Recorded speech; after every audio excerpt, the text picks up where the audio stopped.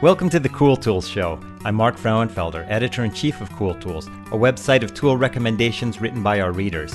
You can find us at cool tools.org. I'm joined by my co host, Kevin Kelly, founder of Cool Tools. Hey, Kevin. Hey, it's great to be here. In each episode of the Cool Tools Show, Kevin and I talk to a guest about some of his or her favorite uncommon and uncommonly good tools they think others should know about. Our guest this week is Rusty Blazenhoff. Rusty is a social artist who aims to bring surprise and delight to everything she does. She publishes an inbox zine, a term she coined, blogs for Boing Boing, and makes magic for Pee Wee Herman, Children's Fairyland, and Burning Man. Hey, Rusty, how are you? Hi, I'm good. good. Thrilled to be here. It's yeah, so good so to hear your voice again, and we are looking forward to the cool things that you were going to tell us about. Oh yeah, so many Definitely. cool tools. It was hard yes. to pick. Just I know four. it's hard. You are, you are, yeah, you're just a, a font of novelty, and so yeah, let's uh, populating my family tree on ancestry.com. Tell us, tell us about this. I mean, there's a lot of ancestry websites and stuff, but tell us yeah. about this one. can I can I start with a short personal story about it? Of course. How how, I, how I found it. Yeah. And how I got involved. Okay, so when I was about 12, um, I was estranged from my family. So most of my life, I've had almost no access to family history, which has left me floating a little bit. It's been difficult, mm-hmm. um, kind of, to know who I am, where I came from, like mm-hmm. a missing link almost, you know? Like, um, sure. um, and, and, that's really, in a way, how I became who I am, you know, mm-hmm. like an mm-hmm. outsider looking for the tribe, right? Right. Um, so cut to 2015, many years later, um, a friend invited me um, to travel with her to, to Italy. Mm-hmm. Um, I knew I had Italian roots. So I um, jokingly suggested we take a road trip to the little town where my great grandparents came from. It's not a tourist town. And she was totally game. um, so I, I literally only knew their surname and the little town's name. Um, and so we rented a Fiat and headed there. Mm-hmm. Um, but long story short, and it is a really great story that I won't get into here. But um, I met a cousin. I met an Italian cousin. Um, I don't speak Italian, and he only spoke a little English, but mm-hmm. he did let me know that I was the first American cousin to come back and that kind of cool. that sold me. uh-huh. I was so it was you know I, there I was. Uh, so that started me in my journey, um, really to get dual citizenship to Italy, and um, and I use ancestry.com. I feel like it's as an ad, but I feel I've been doing all my research on ancestry.com and building my family tree has just been a wild ride. Like, and not just my Italian side, you know, like my European side too. Mm-hmm like learning uh, you know um, i come from cape cod and just learning that um, many of my family names are street names and that you know like my 11th great grandfather was the um, governor for life of martha's vineyard you know? Really? Yeah and it's fascinating like i'm, I'm related to all the presidents and once you start looking at um, ancestry stuff, genealogy, you realize that if you come from a certain place, and I come from, you know, Pilgrim area, mm-hmm. um, that we're all so closely related. yeah, you know, like like I, it's funny, right? And I have friends um, that I've been able to go, oh, we share the same, you know, tenth great grandfather or something you know friends yeah. I've known for years or whatever. That's so cool. But Rusty, I'm interested. You because of your work and th- doing this genealogy research, you were able to get a, an Italian citizenship. Oh yeah, that's a whole nother thing. So I'm I'm working on it. I'm I've been working on it for almost six years, and um, I, I the only thing that's holding me back is I'm not now able to get an appointment for two years because um, the Italian consulate is closed because of COVID. Mm-hmm. Mm-hmm. so I can't even get an appointment. But it's taken me a long time, but um, I have all the pieces to get the dual citizenship. And, and those pieces are just proof of your ancestry. Yeah, so I had to prove that it was the male line mm. and be after a certain date, you know, before a certain date, after a certain how, date. How macho. I know. oh, for sure. And what's what, what's crazy is, you know, if I were a dude and I got it and I married someone, they'd get Italian citizenship but not the other way around. So wow. if I marry if I marry someone, they're not getting it. But my child would get it, can get it, and I can give my brother all the all the documents, and he can go for it, and his wife, and all his kids, and all future all future everybody can have it. That's really amazing, and what a yeah. great thing to be like a European Union citizen. Exactly. I could work and live anywhere. Yeah. yeah. EU. It opens so. up the world to you in such a huge way. Well, congratulations. Yeah. That's so cool. Yeah. I should I should see whether that's true about Ireland. Hmm. Yeah. It is. Um, and I almost I almost qualified, but it turns out my I, I, looked at that years ago because I I know more about my Irish roots than anything, and it turns out that my grandmother went, was born in New York. They went back to they went back to Ireland and back forth. And anyway, she was so she was born in New York. Mm. But you should okay. definitely look. Well, I know my my grandparents were definitely born in the U.S., so that's it depends on what the cutoff date is, but you gotta check it all out for sure. Wow, that's cool. So Ancestry is the tool that you use for all this. Yes, and it's amazing. Okay, well that's really great, and it's a subscription of some sort, I would imagine at this point, right? It is, and it's pricey. Um, I don't. What's have, it cost? I don't have those costs in front of me, but okay, um, it's been worth it. Okay, it can build multiple ones. Sure. Um, a, a friend helps me out with that. And do, and do you uh, ancestry? I mean, uh, 23andMe does the genetic stuff. Does Ancestry is also doing genetic? Um, they do, and I as well. Does that I, help? You know, um, I did 23andMe years ago, and that between that and what I've done on my family tree, um, I've been able to find people and like it builds a profile. You know, it just starts connecting a lot of dots. Um, you know, I found like um, someone in my grandmother's generation in Ireland who was the youngest of all the kids who's still alive, and he found me through 23andMe mm-hmm. and sent me pictures. You know. Wow. Yeah. Um, but Ancestry has its own, but it's newer, and I haven't. I don't. I don't haven't used that one. Okay. All right. All right. Well, so um, that's a good one. Tell us about your next pick. Sure. Um, so earlier this year, I had um, doctor's orders to drink a lot more water, like a lot more. You guys, like um, three quarts a day, which is oh my god, that's a lot. Does isn't it? Yeah, yeah, like ninety six ounces. So I was drinking from glasses at home, but you know I was just losing track, and I didn't know how much I'd actually consume. So I just started looking for a good glass water bottle because you know I think water tastes better from glass anyway. Mm-hmm. And um, so I found this one, this 32 ounce one from Purifyou I didn't know anything about them before. Um, it really sold sold me that it was glow in the dark. Not all of them are glow in the dark, but I love a good novelty. Yes, you do. Um, yeah. so it's glow in the dark, and it's great. Um, but besides that, uh, you know, um, it has a a mouth feel. I don't know how else to describe it. You know, at the top, that's mm-hmm. soft. Like it, it, it feels good in your mouth. Interesting. But, yeah. So it's not gl- glass. It's something. It is glass. So the but glass they've, has. They've done something to it where it's not sharp. Like it's soft. It's got some kind of texture. Huh. Like it's it's smoothed down. Mm-hmm. Oh, okay. Yeah, it has right. a good mouth feel. Good mouth feel. And then the, the, so the description of this would be that it's glass mm-hmm. that has some kind of covering silicone. that's silicone covering. Okay, mm-hmm. silicone covering. The silicone covering is what glows in the dark. Yes. and so if you wake up in the middle of the night and you need to find your bottle of water, it's glowing there and you can sure walk to it with your eyes half closed. Yes. Okay. Yes. um, and I got a smaller one for hiking. And it also has uh, graduated uh, volume measurements. Graduated like how much you're drinking.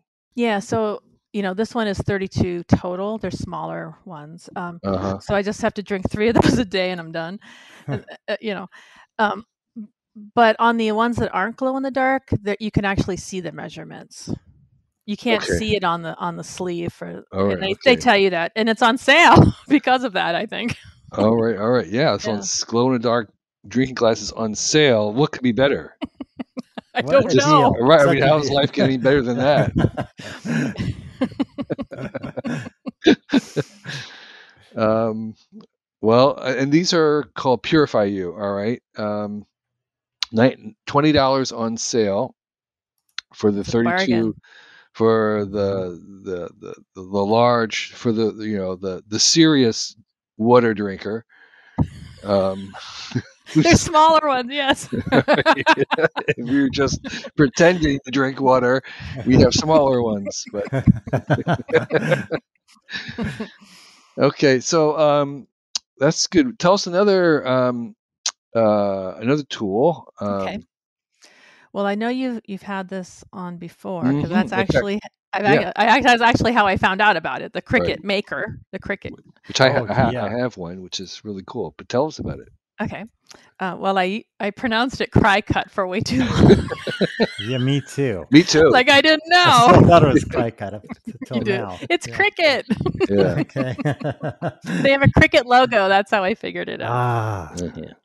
wow. Uh, um, but it, it really, you know, I, I saw it on Cool Tools, but it really wasn't until a friend in real life demoed it for me that I was really sold. And that was just last year.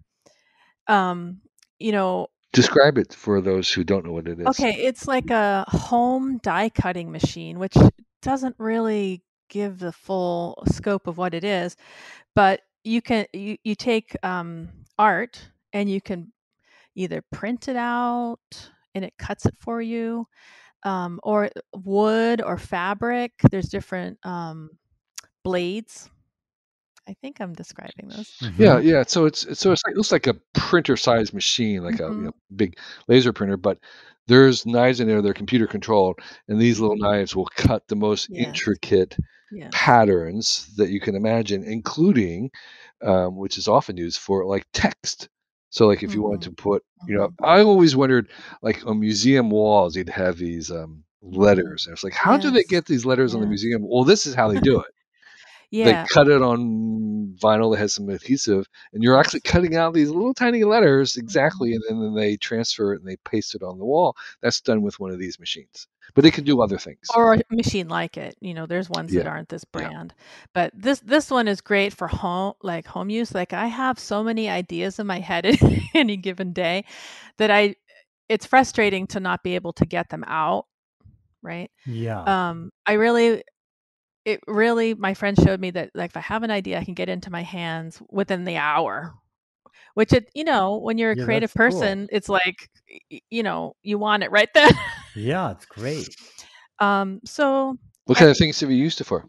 oh i'll tell you yeah um so i got it a- i got it as an early christmas gift to myself and i immediately went into production um uh i made the official blazenhoff industries holiday card slash ornament uh, mass produced quote um, it's uh, it made me feel very andy warhol you know i used um, it's my logo which is like a fluff jar that i've changed to say blazenhoff and then um, i just printed out a ton of them and it's sort of like um, You printed them out on like um, paper, vinyl. What, what- paper Okay. And then I made a background um, to to paste it on, to glue it on, and then hung it, you know, from a string. But the the paper I used in the back, I also cut with the Cricut, and it was um, various vintage postcards and old vinyl um, album covers.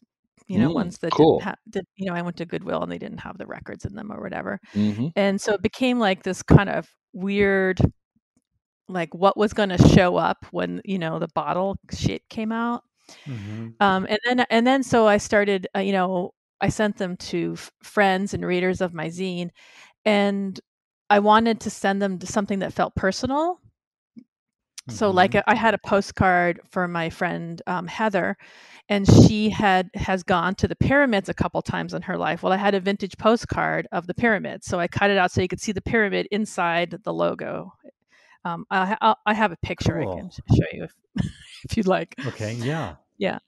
um, so that was the first thing i made and then uh, oh, I've made lots of things, stickers, etc. But uh, one of the coolest things I made, I learned that there are people who make templates that they sell on like Etsy, um, so you can use through the Cricut. So there's a guy I don't know where he is based, but he's on Etsy and he sells only box templates, and they're only eighty nine cents each. So mm-hmm. they're inst- instantly downloadable. You know, you can download them right away, and mm. uh, completely scalable. So mm-hmm. I have a 1962 Fawn all mechanical cigarette vending machine. I've had it. I've had it for years, you guys, and I've wanted to put custom boxes in it with art or you know, um, whatever.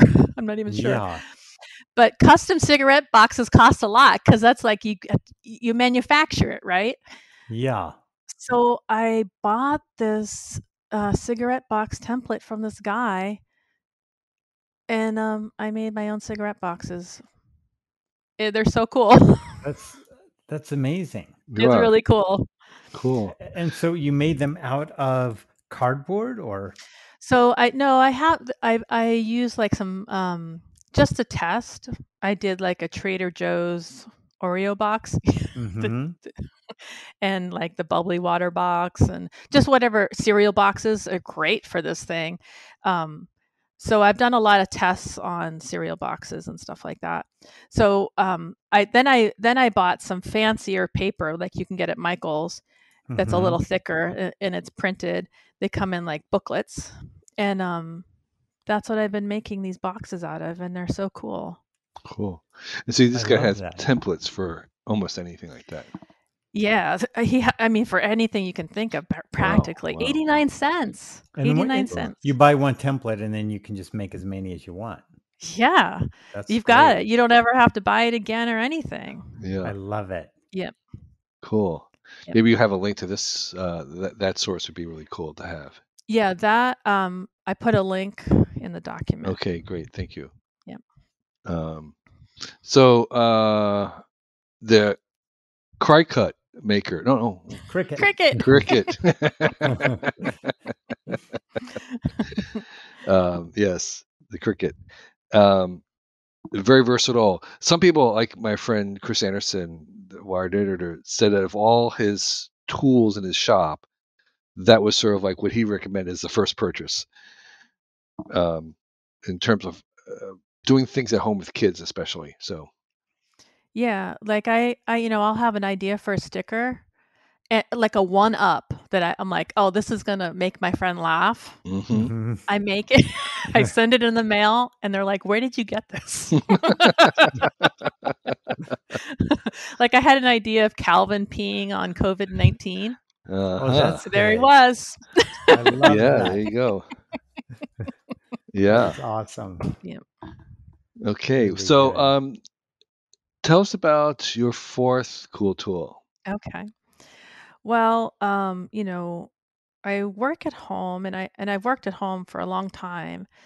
Um, but uh, until this year, until the pandemic, um, there were no Zoom meetings. mm-hmm. I didn't have to attend Zoom meetings. And I don't like being in a lot of Zoom meetings. Like it's a Does anybody? I don't think so. Which is why this next product is so wonderful.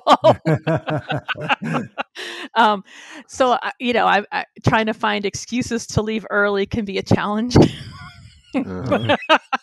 so um, you know, my friends at Archie McPhee, uh, you know, the novel, the great mm-hmm. novelty company that's been around forever. Great um, folks. Uh, such good people. Yeah. Um, they've devised a way to make my life easier and everyone else's with these emergency sound makers.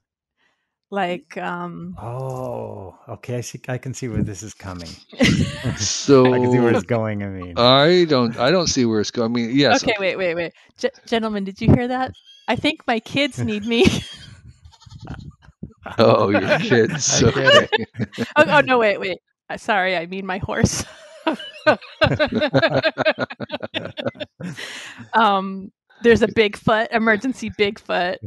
There's emergency Wait, wait. cat. Let's hear. Let's hear the Bigfoot. I don't Oh, know if yeah. I'd recognize a Well, this Bigfoot. four, would you like the howl, snort, roar, Uh, or groan? How about the groan? groan. Okay.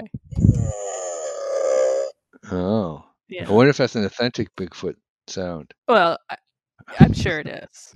I mean, they, they wouldn't they wouldn't have a fake one, right? No, never. Are you crazy? deal. Well, I mean, Um, they have the unicorn sounds too, right?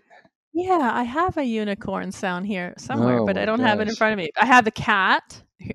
You know, oh no, I have to go. I think my cat's in a fight.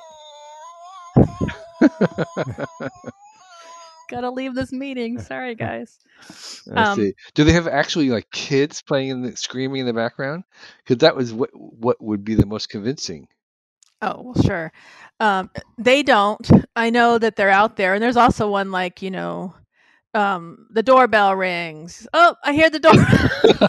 you know, That's great. crying baby. You know, um, Uh-huh. I actually you know learned about.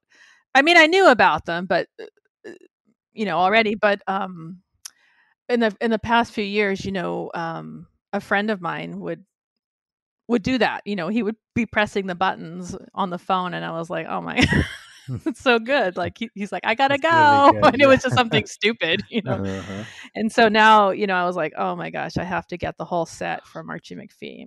Yeah. So That's really- cool. Wow. Yeah. So we've gone through your toy tools and Yeah. toys. Uh, so yeah, tell us a little bit about your newsletter, Rusty's Electric Dreams. I mean, we have Substack now and everything, but you're like old school. You've been doing this for a long time.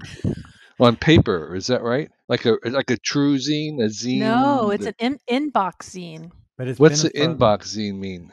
It's an e-newsletter, Oh, but, okay. but cooler. Okay. cooler, far cooler. inbox zine, but cooler. Okay. Um, so, well, actually, I, I don't have a picture in my head. Um, is it very graphic or? Um, So imagine an uh, you know you get your typical e-newsletter with some links. uh huh.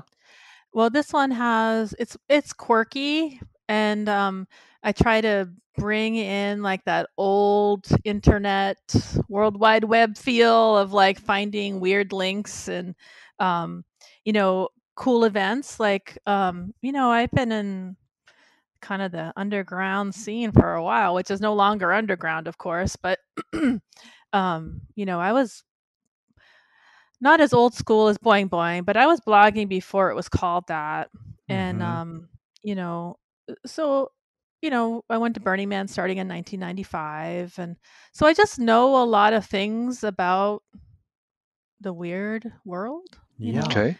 You do. So I I try to put it all together. It used to be weekly, now it's every other week, and um, I have fans from all over, you know, readers from all over. I, sometimes I think I'm going to stop, and now I'm like almost eight years in, and people are like, "Don't stop." Mhm. and um, I just um, a couple weeks ago, I Creative Mornings called me one of the most uh, anticipated newsletters. They called the zine that. cool. Yeah, I believe it. Yeah. And so, is it uh, is it a paid Substack newsletter? Is it? No, and I and I I am thinking about moving to Substack. It's just been a it's just a process to move. I'm in Mailchimp right now because Uh huh. you know it didn't exist. That Substack didn't exist before. Um, but I, I am thinking about it. Um, I do have some folks who uh, throw some money my way, but I haven't um, done a whole lot of effort to monetize it. You know, I have full time work and clients, and um, it's a lot of fun for me, and I get to help out um, the world I enjoy. You know, Mhm. Uh huh. pushing good ideas. Okay. Yeah. So, um, it's sort of um, it's arty hmm and Mhm. a bit of art and li- and I guess in sensibility similar to the old fashioned zine, but it's uh, in a Mhm. newsletter style. You don't have a stamp Yeah, yeah. on it. It's really good. It's it's really good. I Hey, you know, actually, I was just thinking of something. Um, remember the old zine days? We used to do these like swaps. I'll send you my zine, you send me Mhm. yours. Oh, I wonder. I wonder if you could have that with newsletters. the only Yeah, way to get my newsletter is to send me your newsletter. That's a great idea. Yeah, You could do that, Kevin. With Substack, you could. I mean, I do do some some swaps with people. instead Yeah, of, but like- what if that was the only way you could get it? That's a great idea. and you had to like their other, you, Yeah, you had to like the other one or that's a something. I don't know. Cool Um, idea, actually. Be getting a lot of mail. well, but if it was if it was selective, it would be kind of cool Yeah. because the only way you could get the zine would be to produce something like you like it yourself, Yeah. Mhm. and that might be a very tight community of Oh, for people just sure. sharing stuff, and you couldn't buy it for money. Right. You know, that's how I got started. I, I used to have a paper zine, you know, in, in, back in the day, and um, we we would bring it around to different Burning early Burning Man events and give it away, and people would give us stickers, and you know, it was a lot of fun. And like we'd meet, um, have zine meetings, you know, like we Yeah. get together. Mhm. meet up. Actually, Mhm. the more I think about that, if I did a newsletter, that's what I would do. It- It's not worth. I don't know if I'd do it for a. I don't think I'd do it for a sub. I'd only do it if you sent me a really cool newsletter that I liked and that could only be gotten by by swapping. I, I think like that, that. I think that'd that be would fun. be kind of cool. That's a cool idea. part part of what I do with the zine is that um you know I try to make it a community and I try to you know we have mail art swaps and stuff like that and uh, uh, based around a theme and that that of course gives me an you know an excuse to use the Cricut um and it's a it's just a lot of fun I mean it's a lot of fun for me to find that uh, you know that there's other people out there like me the only the only thing that's a bummer is like it's just me pushing out a lot you know Right. i don't Yeah. always it's not always as fun to be uh, the pusher outer Do you ever miss? uh Do you ever miss it? Uh, like a week, or do you? Are you really good about getting it out every single? so it's every other week now Okay. because you know i have more paid work paid work Mhm. but um this is issue 300 coming up this week wow, that's amazing. So cool, You're you're gonna you're gonna get into Beeple territory. yeah. I mean, you can say what you want about his art, but I have to say, anybody who does something every day for 5,000 days Yeah. Mhm. deserves Sure. some reward because that is an amazing achievement. yeah yeah So i cool. don't disagree Yeah. i don't disagree Um, well, cool. So this this um, inbox zine Yeah. is called Rusty's Electric Dreams. Okay. After my favorite movie, which was Electric Dreams. Uh-huh. That inspired me. Okay. Nice. Fantastic. Yep. So cool. Yeah. Well, thank you so much. We uh, really enjoyed this as usual. It was really fun to catch up. Yes, thank Yeah. you. Um, Thanks so much, Rusty. No problem. I'm gonna I'm gonna leave you here with this purring. Oh, you have to go. Oh boy. My cat needs me, you guys. I love it. Alrighty. okay. Thank you. Okay, thank you. Thanks. Hey, everybody, it's Mark from the Cool Tools Podcast. I want to thank you for being a listener to Cool Tools.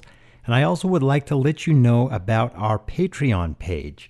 If you would like to support the Cool Tools show, as well as our video channel, the website, and all the newsletters that we do, you can go to patreon.com slash cooltools. That's just one word, Cool Tools and pledge any amount you want. You could even pledge a dollar a month.